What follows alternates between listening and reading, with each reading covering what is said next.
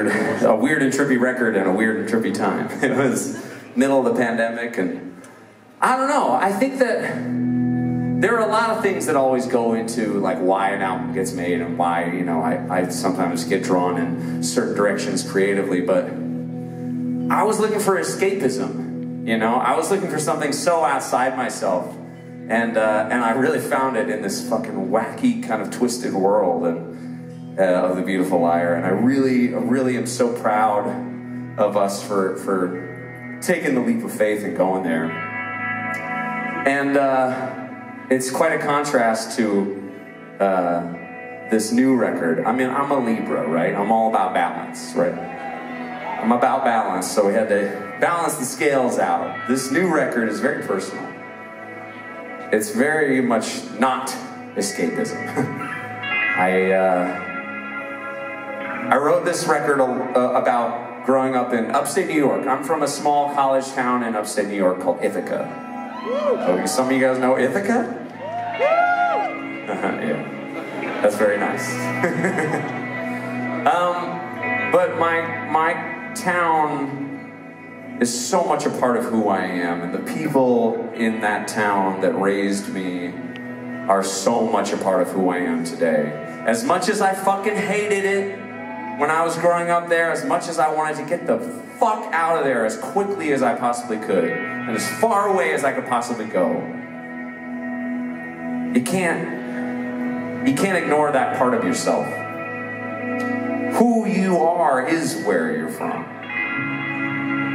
And I'm from upstate New York. I'm an upstate New York boy in my heart, and I owe so much to that place and those people. And one person in particular, a teacher of mine, a mentor of mine, a man named Todd Peterson. Passed away in 2021, and this, this guy just had such a huge impact on me. He taught me a lot of what I know about being on stage, you know, about performing. I did all my, my musical theater with him, you know. He was the first person who actually got me to go on stage and sing in front of a crowd. I was in fifth grade. I was terrified. I was you see me here now on stage in front of you. This is where I was. This is where I was when when I sang my first song. I was like over here. I was hiding. I was so scared. I was so nervous. But Todd believed in me. He believed in me before I believed in myself. We all need people like that in our lives.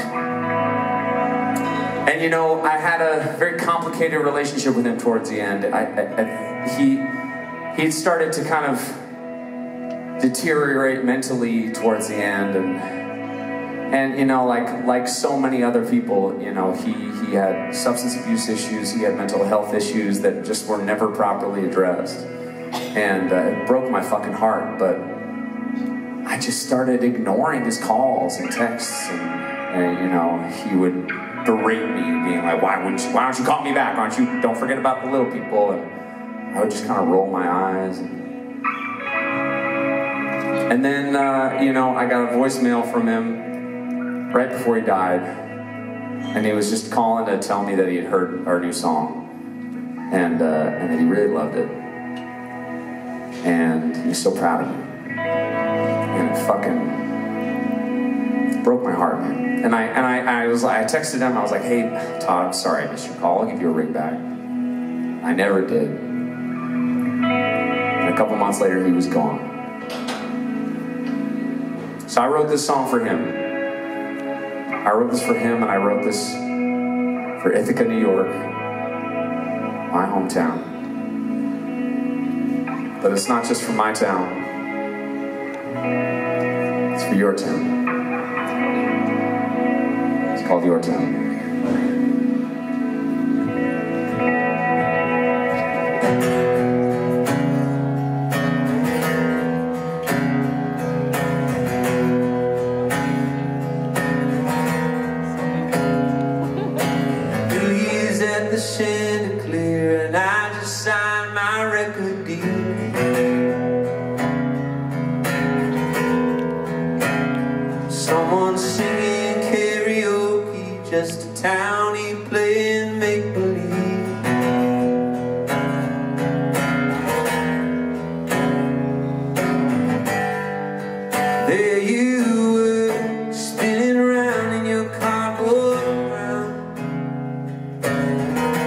said, congrats, you made it out.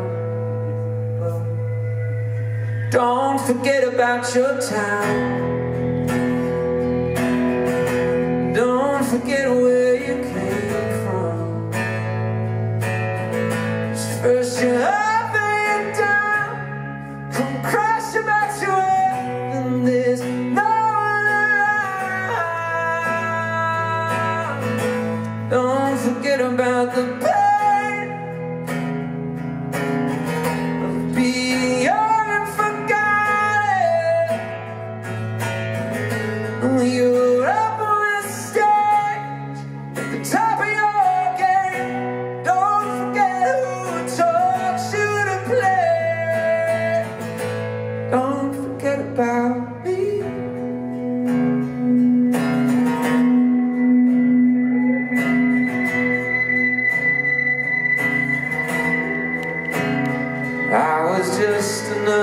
Shy kid on the playground.